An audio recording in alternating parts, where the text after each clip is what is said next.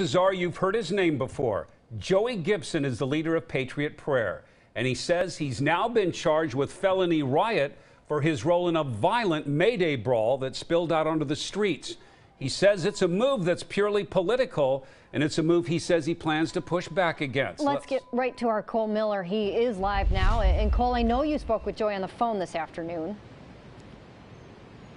Jennifer, I did, and as we've heard before, he insists that his right to free speech is under attack. Now, I did specifically ask him, did you give any kind of call or directive for violence on that May Day? He says he did not. Now, at least one group is applauding the decision to bring that charge against him. For the better part of three years now, we've seen those clashes in the streets of Portland. Anti fascists and extreme right wing groups like Patriot Prayer squaring off in the city. On May 1st of this year, this was the scene outside of Cider Riot. It's where Patriot Prayer showed up unannounced and violence soon followed.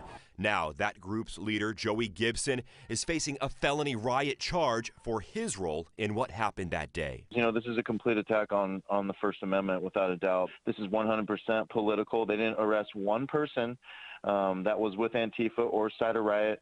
I'm literally being arrested for standing on a sidewalk. Gibson says he plans on fighting the charge, calling the DA's decision one aimed at keeping him from coming back. And I was ready to be done with Portland, but this makes me want to fight back even more. By fight back, I mean like politically. In the last week or so, police, with the help of U.S. Marshals, have arrested five people in connection to that May Day violence, as well as one from a June 29th protest.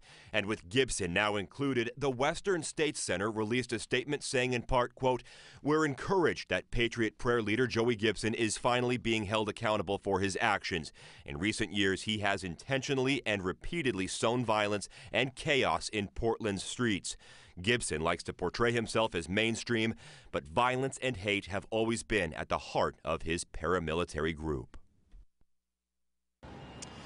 And within the last half hour or so, I did reach out to Cider Riot. In the days following that brawl, the owner did file a $1 million lawsuit against both Patriot Prayer and Gibson.